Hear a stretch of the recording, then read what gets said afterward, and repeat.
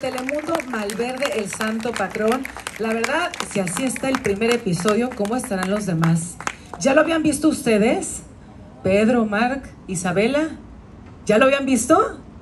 Les veo todos la cara de súper emocionados, la verdad, todos estamos. Yo tenía muchísimo frío y cuando empecé a ver esas escenas, se me quitó por completo. Bueno, antes que nada, muy buenas noches. Yo soy su amiga Armida Mier presentadora de Acceso Total. Me encanta estar aquí esta noche con ustedes y sobre todo, pues estar con, con el elenco aquí, que lo tenemos, el elenco protagónico que va a estar compartiendo con nosotros. Vamos a darle la bienvenida a Pedro Fernández, por favor. ¡Aplausos! ¿Cómo estás? Qué gusto. Felicidades, mi Robin Hood mexicano. bueno, tenemos a la guapísima de Isabela Castillo, por favor. Aplausos para ella. Esa china navajas, mujer con pantalones. Bienvenida Isabela, ¿cómo estás? Pásale, adelante. También tenemos, por supuesto, a Mar Thatcher. Un aplauso para Octavio. Bienvenido. Ay, ese Vicente. Qué hombre tan serio, Vicente. Yo tengo muchas preguntas para Vicente, ¿eh? Así eres, no creo, mi Marc, no creo. Luis Felipe Tobar, por favor, aplausos. Le tengo miedo, Herminio, pásale. Me das miedo. y por supuesto que un aplauso también muy grande para su productora ejecutiva, Karen Barroeta, que está aquí con nosotros esta noche. Aplausos, bienvenida, Karen. Por favor, pónganse cómodos, siéntense. Esta es su casa. Tenemos mucho que platicar. Eh, yo les tengo muchas preguntas y me imagino que todos los compañeros de la prensa que nos acompañan esta noche también tienen ustedes muchas preguntas, ¿verdad? Bueno, pues esta es su oportunidad, aquí los tienen para ustedes. Pedro, platícanos por favor. ¿Cómo te sientes de interpretar a este personaje? ¿Cómo ha sido tu experiencia? Es un personaje icónico. ¿Cómo te sientes? ¿Cómo ha sido? Bueno, ha sido muy emocionante, sin duda es un reto. No todo el tiempo tiene uno la oportunidad de darle vida a un personaje que es una leyenda, un personaje enigmático, maravilloso, mágico. Eh, igual que mucha gente, yo tenía muy poca información al respecto y una vez que me invitaron a ser parte de este maravilloso proyecto, pues evidentemente se, se da uno la tarea de documentarse lo mejor que se puede y me encontré con una historia maravillosa, con una historia encantadora y con un tipo lleno de virtudes, también con algunos defectos, pero con esas virtudes bastante bien acentuadas y muy claras, ¿no? De qué querer hacer y cómo hacerlo. Por supuesto, y bueno, yo tengo una pregunta. ¿Tú tienes también esa parte de ese Robin Hood? ¿Pedro tiene ese Robin Hood? Hombre, no lo sé. Eh, no lo sé. Yo creo que de alguna manera los seres humanos si no es que todos tenemos ese sentimiento de generosidad, pero no sé a qué, a qué dimensión. No sé si a esa, a esa dimensión a la que él pudo llegar, la manera en la que trataba de defender la justicia, eh, el proteger a su gente, a su pueblo, a sus campesinos, su tierra, sus amores. Creo que de alguna manera sí, hay cosas con las que me identifico, pero es difícil decir que soy exactamente igual o con la misma intensidad con la que él ha manejado o manejó cada uno de estos sentimientos, ¿no? Por supuesto, a ver, Isabela, ¿cómo estás? ¿Cómo te sientes? ¿Emocionada? Sí, ya quiero ver el segundo capítulo. Nosotros también. Y recuerden, la noche de estreno es el 28 de septiembre a las 10 de la noche, no es centro, así que no se lo pueden perder. Isabela, me encantó tu personaje. Es una mujer con muchos pantalones, muy entrona, muy adelantada para esa época y en un mundo rodeada de hombres. ¿Cómo te preparaste para interpretar a la, China Navajas? Este, pues me preparé viendo muchos documentales de las soldaderas de, de la Revolución Mexicana y pues sentí muchísima responsabilidad porque me fijé que no se hablaba mucho de ellas y siento que mi personaje viene un poco a representar esas mujeres, ¿no? Eh, de la historia de la Revolución Mexicana, que todavía no se habla mucho de ellas. Em, y pues para mí pues fue un honor. Eh, amé ser la única mujer en la banda Malverde. Fue muy divertido eh, grabar con todos mis queridos compañeros. Un personaje muy divertido que disfruté muchísimo y que me empujó a, a muchos retos. ¿Y qué representa la China en la vida de Malverde? ¿Qué representa la China en la vida de Malverde? A ver, cuéntenos, mucho, cuéntenos. mucho, porque es su hermana, es su hermana, literalmente es su hermana, es, es la, la única mujer de la banda de Malverde. Eh, es brava, hay que estarla controlando, es muy peligrosa con los cuchillos, ¿no? Y con las navajas. Ya vimos, ya Siempre lo vimos. dice, la. China navajas. Y este, pero tienen un, un cariño muy, muy fuerte entre sí, ¿no? Hay una fraternidad muy grande y evidentemente Malverde, a costa de lo que sea, igual que a todos los demás, pero sobre todo a ella por su condición de mujer, la va a defender ante todo, ¿no?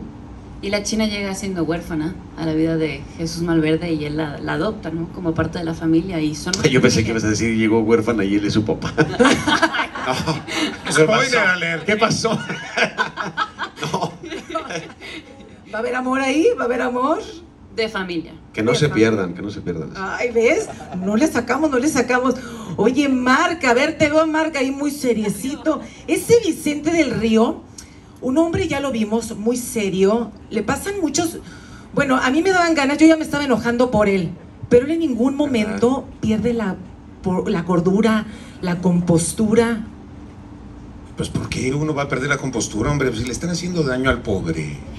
¿Y no se va a defender en algún momento? Pues imagínate si la vida lo trata así, si la vida te da limones. ¿Haz limonada? Pues sí, exacto. Y bueno, lo- es, es lo que pasa, ¿no? Al fin y al cabo, pues Vicente del Río es un hombre que viene del extranjero, que es eh, tranquilo, que es un hombre de familia. Que, ay, que- ¿Quién me conoce o qué? Y aquí están todos llorando por ti. Sí, no, la verdad es un hombre que, que viene con dobles intenciones, ¿no? Que viene con una second agenda, viene con una con mucho amor, porque sí, obviamente está enamorado de Isabel, está enamorado de su hijo, ¿no? Y, y quiso hacer una familia, pero poco a poco, como lo pudieron ver y todos lo pudieron comprobar, que además le quiero agradecer a toda la gente de la presa que dos años no nos vimos. Y ahorita por fin otra vez estamos aquí cerquita. Así es, aplausos. Eso se siente hasta raro. Yo sentí pánico escénico y todo el mundo se veía aquí de cuánta gente. Entonces- y entonces, este, la verdad que, pues, a, a- a- partir de ese, de ese momento que, pues, eh, mi personaje se enamora de la tierra, de, de las oportunidades que hay en esta tierra para traer la luz, para traer el ferrocarril. Y todo eso, pues es que Vicente del Río decide quedarse, hacer una familia y tratar de cuidar de ella hasta que aparece la sombra de Malverde en la vida de todos, así como también lo sabe don Armenio Quiñones. ¿No? O aparece en todos lados este hombre. Por todos lados lo vemos. Por todos lados. Oye, Mar, y ahorita dijiste algo muy importante y yo quiero hacer hincapié en eso. Y de verdad que es un gusto estar aquí todos reunidos después de tanto tiempo, eh, con, que hemos vivido momentos tan difíciles con esta pandemia. Así que ver tantas caras conocidas de tantos amigos, de tantos compañeros. Y de verdad que todos estemos sanos el día de hoy, estemos aquí, que espero que sus familias también lo estén. Así que se siente esa emoción que hace, pues mucho no vivíamos, esa adrenalina. Pero no te vayas por la tangente. Regresemos, por favor, a la historia de Malverde. Sí, claro. Y bueno, pero en algún momento va a explotar ese hombre, le va a salir ese carácter, porque yo sé que es como un olla express que en algún momento tiene que explotar. ¿Te parece? Sí, lo siento, a lo mejor estoy equivocada. Pues ya lo veremos, ¿no? Yo creo que ya veremos, pero se le ve, se le ve temperamento. Sí. Un poquito. Eh, mm, ¿Cómo Sí. ven ustedes? Es como una olla express, bien dijiste. Ya están es casi, los frijoles ya casi están listos. Oye, ¿y qué reto te enfrentaste tú para representar a Octavio? Que no se llama Octavio. Le quiero decir Octavio Se Vicente llama Vicente. Bueno, es que se llama Vicente O del. Río. Vicente del Río, déjame decir Octavio. Es Vicente que, Octavio Mar, del tú Río, me pero- distraes, Mar, tú me distraes. Por Es favor, que, dime cómo es- preparaste a Vicente del Río. Eh, realmente, pues lo que tratamos de hacer en, toda esta serie es que todos los personajes tuvieran estas virtudes y estos vicios que, les corresponden, ¿no? Como, seres humanos. Y creo que eso fue lo que más difícil fue en, en cuanto a Vicente darle esa credibilidad, porque desde los textos y todo era una persona muy cuadrada, muy rígida, muy recta, que inmediatamente podría, eh, pues fácilmente se podría leer como el personaje que, que resulta ser. Entonces tratarle de bajar esa, esa rigidez, tratarla de hacer un poquito más terrenal, un poquito más con sus errores, un poquito con, con, un poquito más de profundidad en el dolor que le hace perder a su familia poco a poco por la sombra que tiene en medio siempre, que es la sombra de Malverde por la cual siempre ha estado enamorado, eh, eh, enamorada Isabel. Entonces, pues inmediatamente el, el, el dolor es lo que hace que la determinación de él se vaya por el camino equivocado. Y eso fue lo que me, digamos, eso fue lo que más trabajo. Miren nada más aquí, Pedro. ¿Cuál fue la reacción, Pedro? ¿Cómo fue esa reacción, Pedro? bueno, pues estaremos muy al pendiente. Y bueno, yo tengo aquí muy cerquita. Herminio Quiñones, me das miedo. Me das miedo. Acabamos de ver que es un hombre bastante frívolo, un hombre sin escrúpulos, un hombre que está dispuesto a conseguir lo que sea, así tenga que pisar a quien sea. Así es. En efecto, lo leíste muy bien. Fíjate que yo, bueno, es que nada quiero agradecerle de verdad a toda la gente que nos acompaña, a los medios de comunicación. Es muy emocionante poderlos ver otra vez después de tanto tiempo, un año y medio, un poquito más de año y medio. De verdad, muchísimas gracias por su interés en el trabajo que hicimos Estoy tratando de procesar, de digerir lo que acabo de ver en la pantalla para quienes lo hacemos. Siempre es un impacto muy fuerte. Lo hacemos con toda la pasión del mundo, lo hacemos con mucha responsabilidad, lo hacemos con todo el corazón. Y sí, efectivamente tuve el privilegio de interpretar un personaje que me abre un rango de juego muy importante para poder trabajar con una serie de ingredientes que le dan fuerza, que le dan poder, al poder, que le dan intriga a la intriga. Este personaje, como tú bien acabas de mencionar, es un hombre que está enfermo de poder, es un hombre que es un depredador natural, es un hombre que está dispuesto a hacer lo que sea para que le genere beneficios a él y evidentemente a lo que le interesa. no tiene nada que ver, se los juro, yo soy más como del lado, yo tendría que estar del lado de la banda de Malverde. ¿Y qué pues? La cara no me ayuda mucho. Las acciones tampoco, ¿eh? Las acciones, eso es lo más Las importante, Pedro. sobre todo. Pero lo he disfrutado como ustedes no tienen una idea. Es un proyecto poderoso, son imágenes de alto impacto. Dicen que para que pueda suceder algo importante en la pantalla tiene que haber imágenes memorables con momentos memorables. Y yo creo que Malverde, el santo patrón, lo que acabamos de ver, lo reúne y eso me da mucho gusto por encima de lo que yo piense. Lo dejo siempre a la consideración de la gente que nos acompaña, de la audiencia, de la gente que nos va a ver. Y yo lo único que deseo en este momento es ver el segundo capítulo, el tercero, el cuarto y los que sigan adelante, porque yo siento que la audiencia lo va a disfrutar mucho, que espero que lo estén disfrutando tanto como lo estamos disfrutando nosotros en este momento. Amén. Ya lo comenzamos a disfrutar y de Señor. verdad que todos estamos picadísimos y por supuesto que vamos a estar pegados a la pantalla a partir de este 28 de septiembre. A Karen la veo con una sonrisota muy emocionada. Karen, de verdad que es impresionante eh, esta serie, que es la primera serie de época de Telemundo. Impresionante la escenografía, el vestuario, todo es extraordinario. Cada detalle, cómo lo cuidaron, que nos llevan a ese México de 1910, a esa época. Pero ¿en qué momento, Karen, deciden contar la historia de este personaje tan icónico de Jesús Malverde? Buenas noches a todos y muchas gracias por estar aquí con nosotros. Como decían el equipo, la verdad eh, fue un trabajo eh, de, de muchos meses y la idea comenzó hace 6, 7 años. Eh, hace mucho tiempo, la verdad que la televisión parece que se hiciera en un abrir y cerrar de ojos, pero no es así. Empezamos a pensar en Malverde y dijimos, vamos, vamos a testear esto, vamos a llevarlo a, a- a Focus Group y ver la gente qué siente de Malverde, qué piensa de, de este santo, de este bandido, de este Robin Hood maravilloso. Y la sorpresa que nos llevamos, sí sentíamos, obvio, que era algo interesante, pero cuando lo llevamos a investigación de mercado, nos dimos cuenta que había furor de saber más y de verlo. Así que comenzamos a trabajar hace cuatro años en el desarrollo y la pandemia, que ha sido pues eh, algo que nos ha traído muchas tristezas a todos eh, y, y que La verdad tiene más cons que pros. Pero para Malverde le trajo algo particular, que fue que nos permitió tener un una, etapa de preproducción mucho más larga que otros proyectos.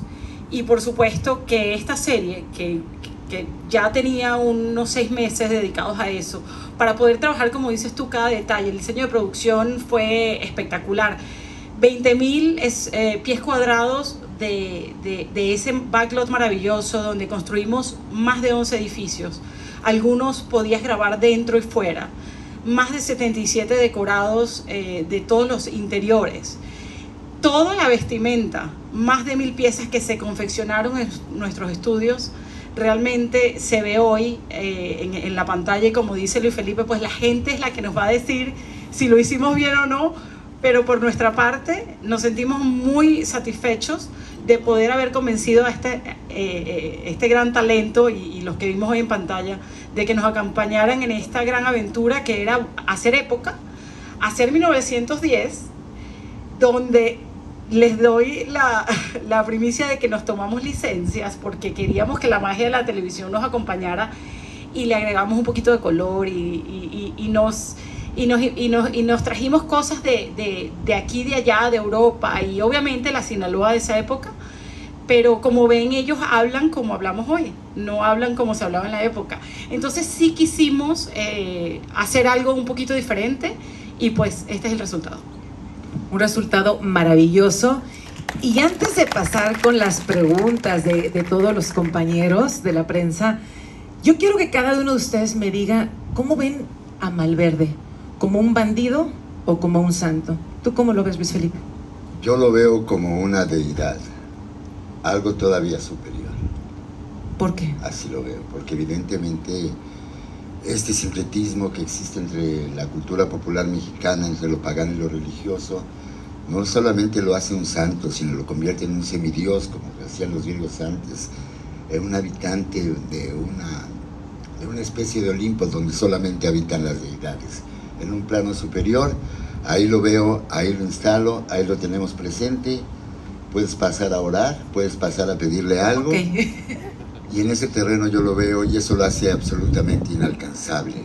Lo vuelve algo que no es tangible, y que solamente podemos ver en la pantalla interpretado de manera maravillosa en esta ocasión por Pedro Fernández. Tienes toda la razón y aparte es un, y es un personaje que a más de 150 años es un personaje icónico, un personaje, es una leyenda que la gente siempre se pregunta, se cuestiona. Pedro, ¿tú cómo lo ves? ¿Como un santo o como un bandido? Mira, comparto mucho de lo que ha dicho Luis cuando a mí me invitaron para ser parte de este proyecto, para darle vida a este personaje, no tenía idea realmente de qué tan importante y qué tan poderoso y, y el alcance que tuvo, ¿no?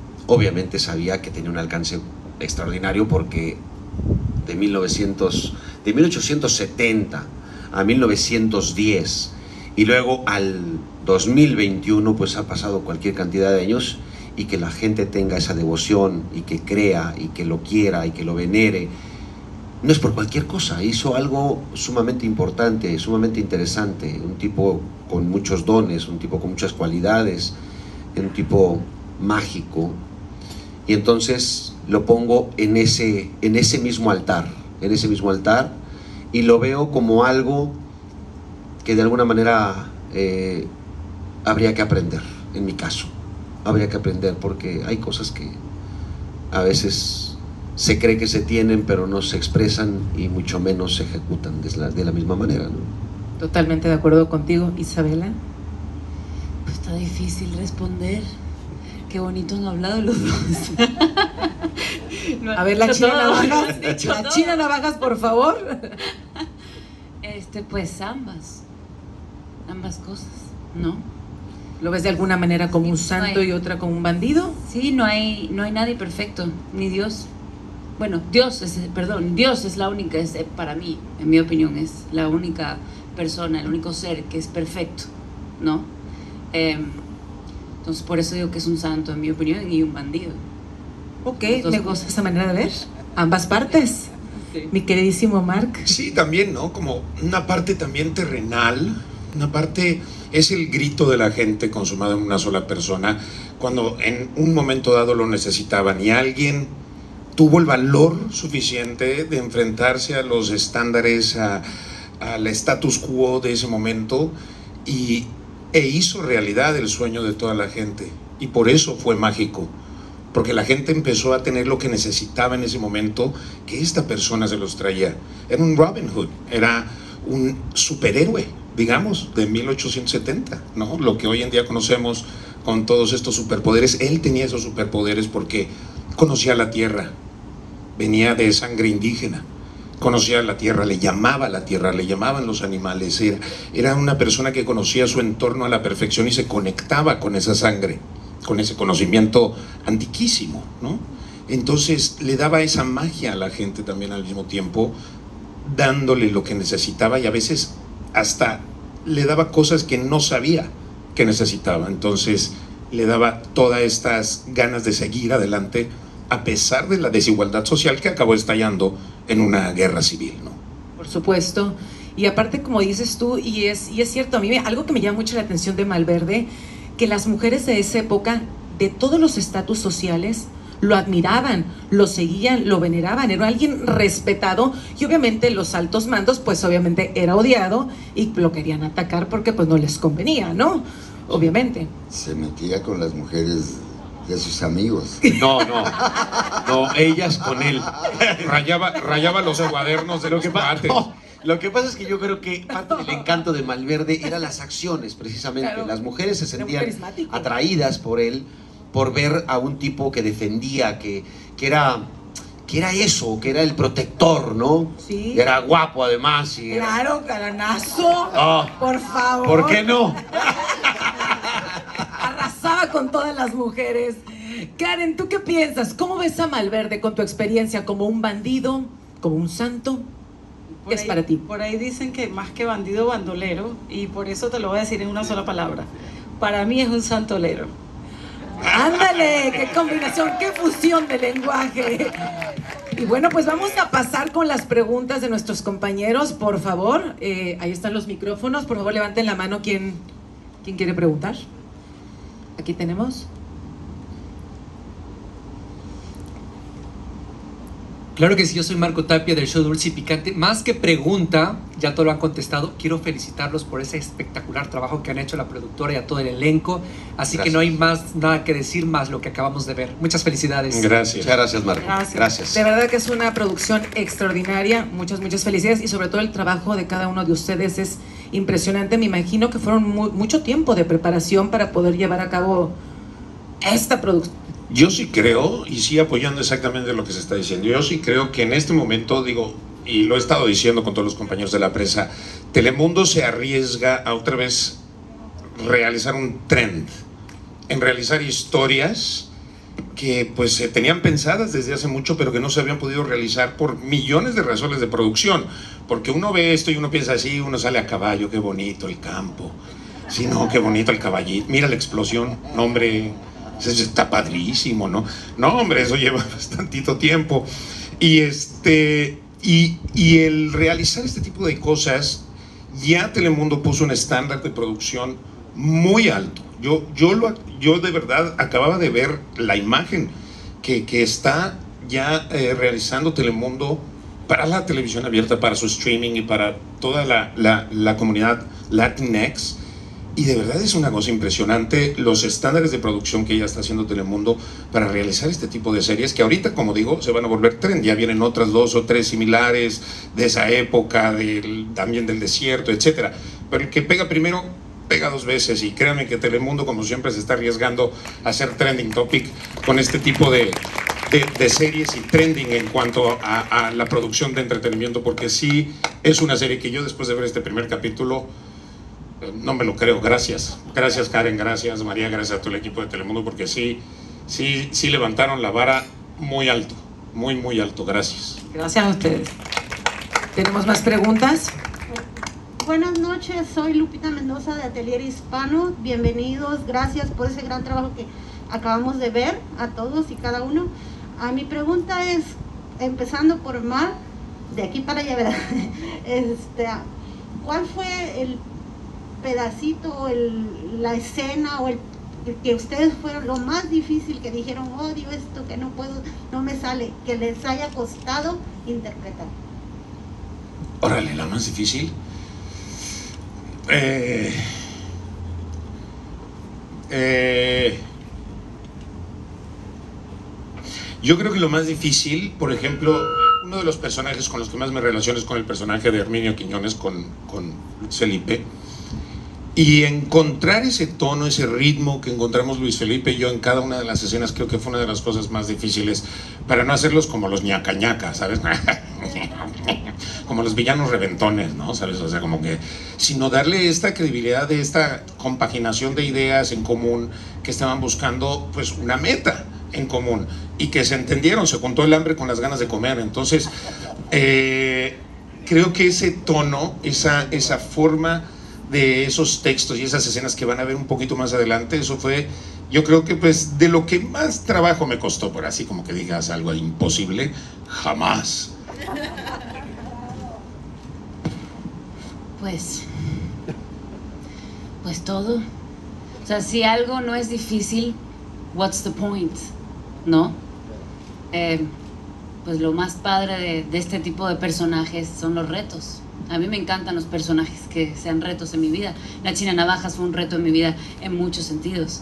Eh, físicamente, emocionalmente, eh, desde los vestuarios hasta las escenas de acción.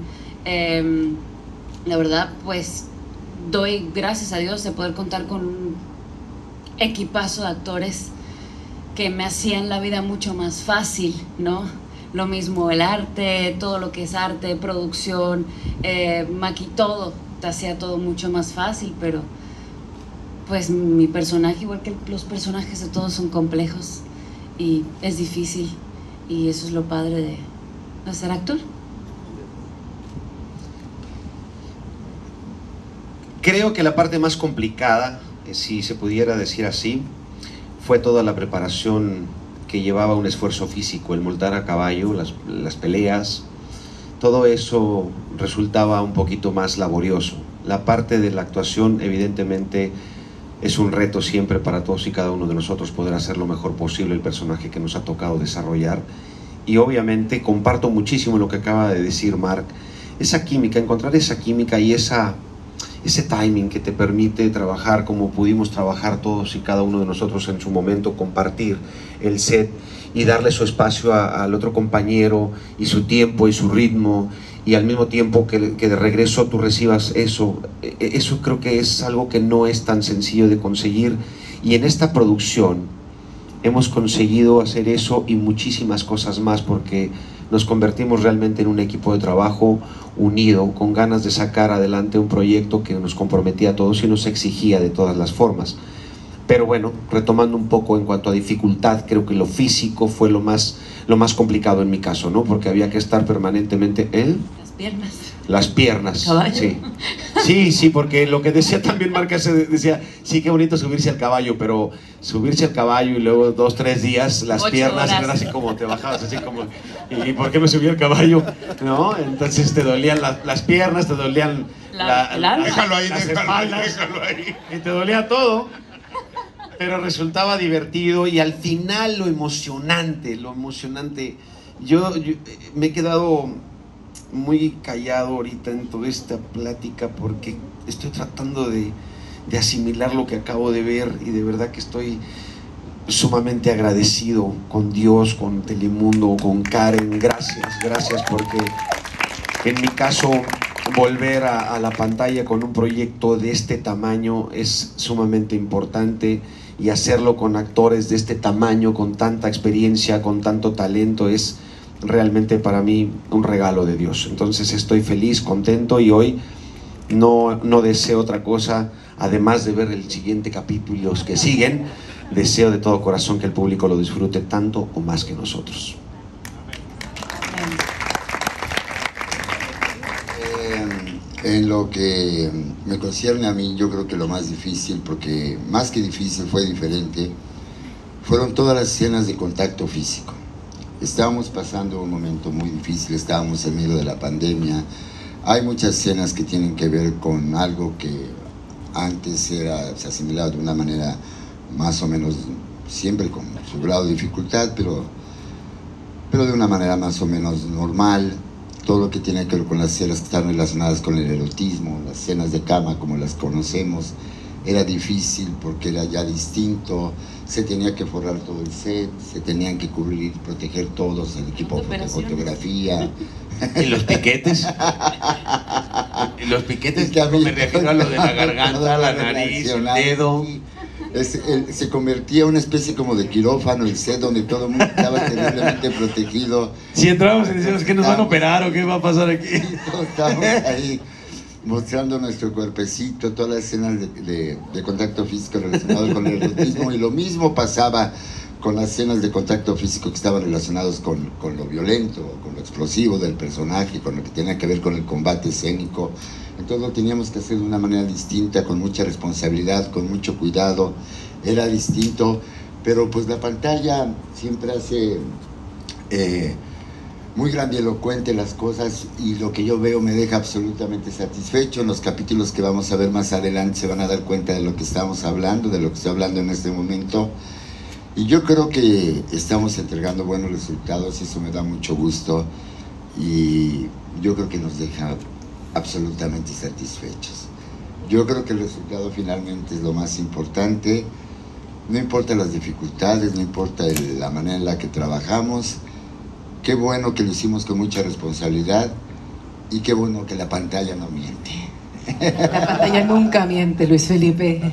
¿Alguna otra pregunta de los compañeros? Aquí tenemos a Verónica. Ah,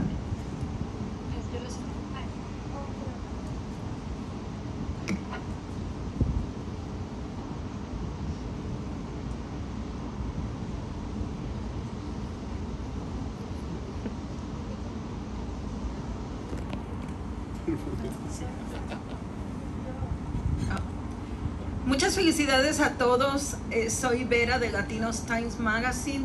Quiero felicitar a Telemundo, a los productores y a todo este elenco que de verdad, de verdad se han aventado un 10. Quiero preguntarles a cada uno de ustedes que ha realizado su personaje, por decir Pedro Fernández, ¿qué es lo que le deja Malverde a Pedro Fernández? Ah, qué buena pregunta.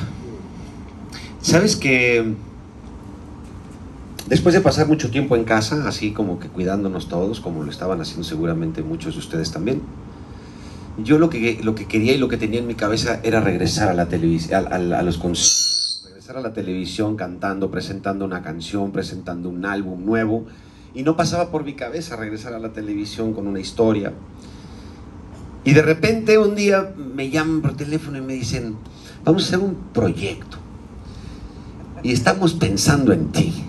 Dije, "Ah, bueno, muchas gracias. ¿Qué, ¿De qué se trata? Pues mira, se trata de esto y queremos que seas Malverde. Y me quedé Malverde. Y entonces pasan muchas cosas por tu cabeza porque no sabes.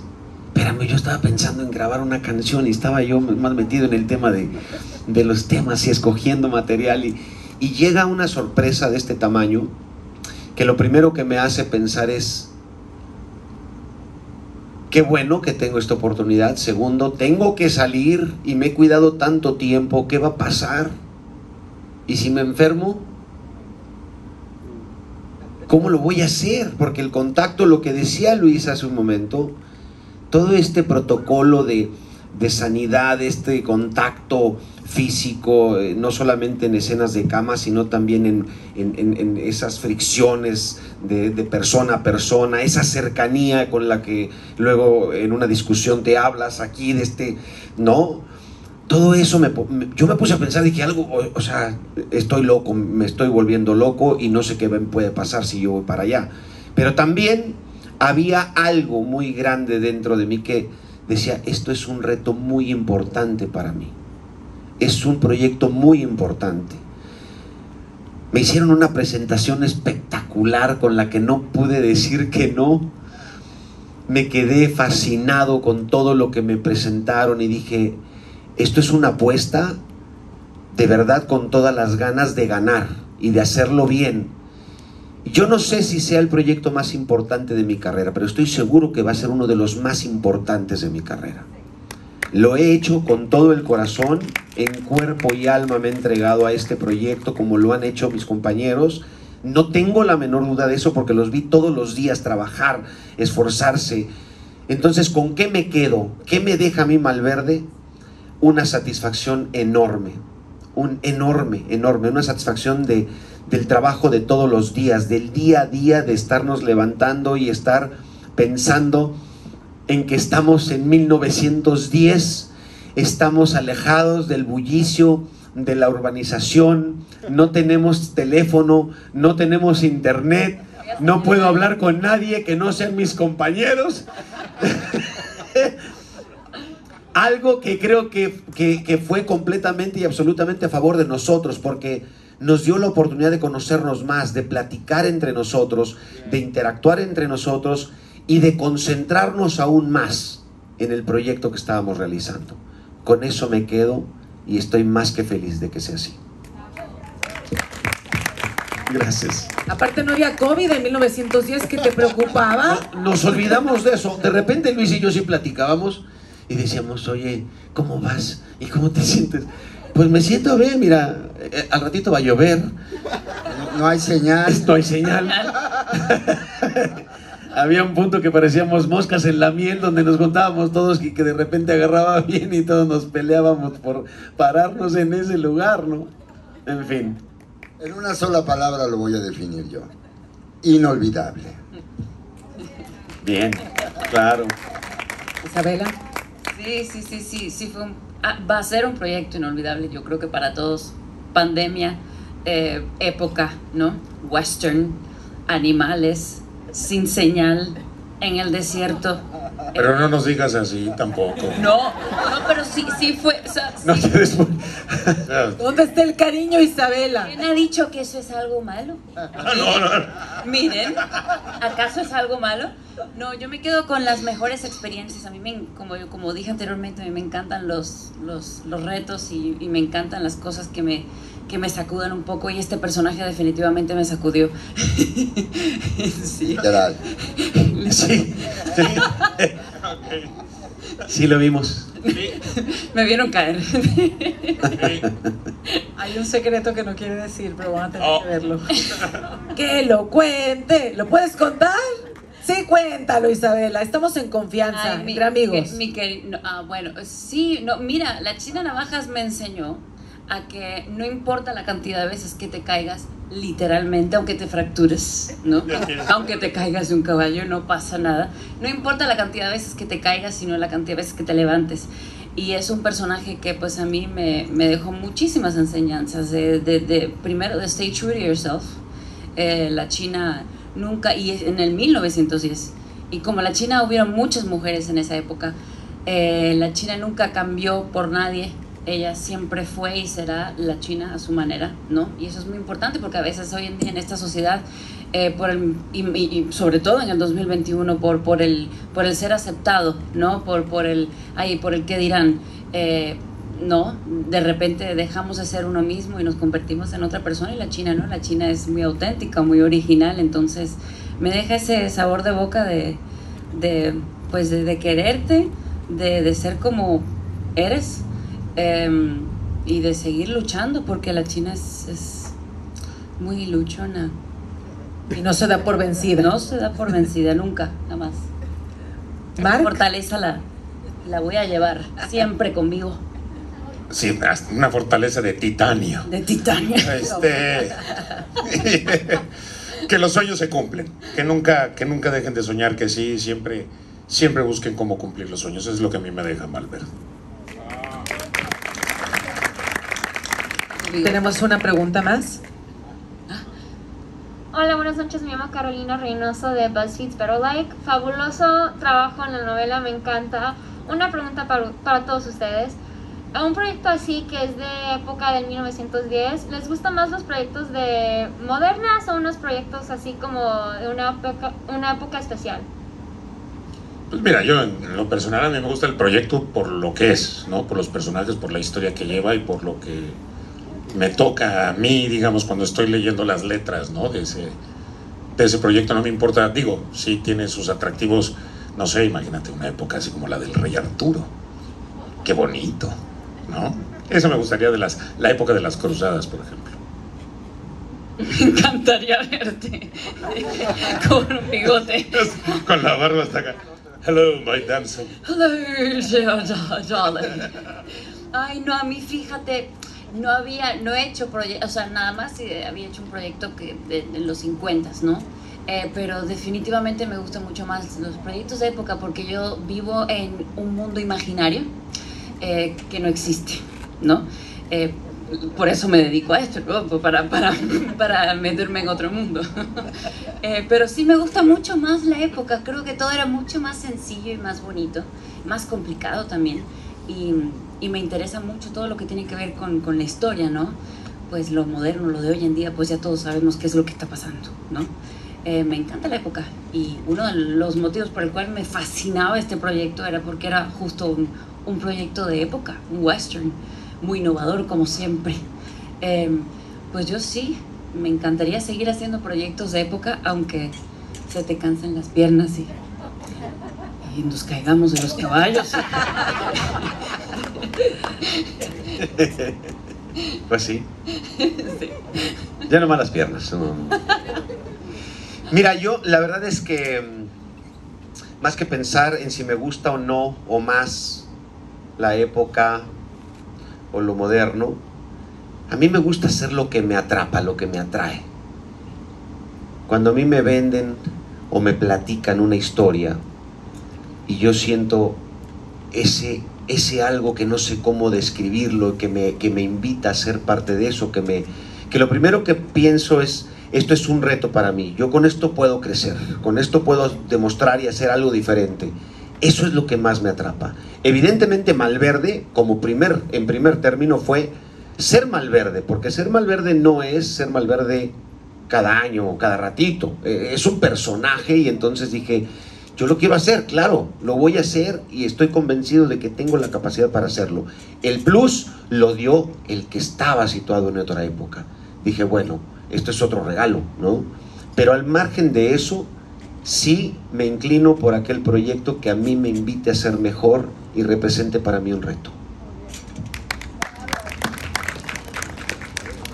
Eh, realmente no me pongo a pensar mucho sobre si es de época, sobre si es algo que tiene que ver con la actualidad, si es algo que está absolutamente vigente.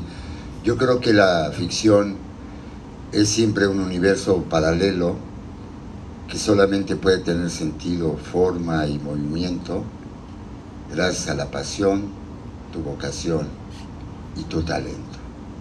En ese rango me planteo yo y es por eso que lo disfruto mucho. No importa. Aplausos, por favor. Y de verdad que queremos felicitarlos por ese trabajo tan extraordinario, de verdad que nos dejaron cautivados. Vamos a estar muy al pendiente, acuérdense, la fecha es el 28 de septiembre, se los repito, a las 10 de la noche, no nos podemos perder este gran, gran estreno y de verdad que muchas, muchas gracias a todos y cada uno de ustedes por, por entregar su corazón, porque lo pudimos ver. Bueno, el corazón no, las piernas también, Isabela, no se nos va a olvidar, el alma, las caídas, caídas, todo el esfuerzo, todos su- son extraordinarios actores y verdad que muchas, muchas gracias por ese trabajo tan maravilloso. ¿Algo más que quieran agregar antes de despedirnos? Yo por mi parte agradecer una vez más a todos y cada uno de ustedes su presencia. De verdad que para nosotros es un honor y agradezco profundamente que tengamos, tenemos esta oportunidad. Gracias por el interés de conocer este proyecto que para nosotros es tan importante y representa tanto. Espero que muy pronto podamos conocer no solamente la opinión que tienen al respecto del primer capítulo, sino de todo lo que viene en la serie que nos parece que es extraordinario. De manera que gracias, gracias a todos por estar aquí. Gracias. Muchas gracias. Gracias. Gracias a toda la gente que nos acompañó el día de hoy, a todos los medios, muchísimas gracias. Gracias, por supuesto, Karen, Mark, Isabela, Pedro, muchísimas gracias, Luis Felipe, a todos muchísimas gracias y nos vemos el 28 de septiembre. Gracias. Nos vemos. Gracias.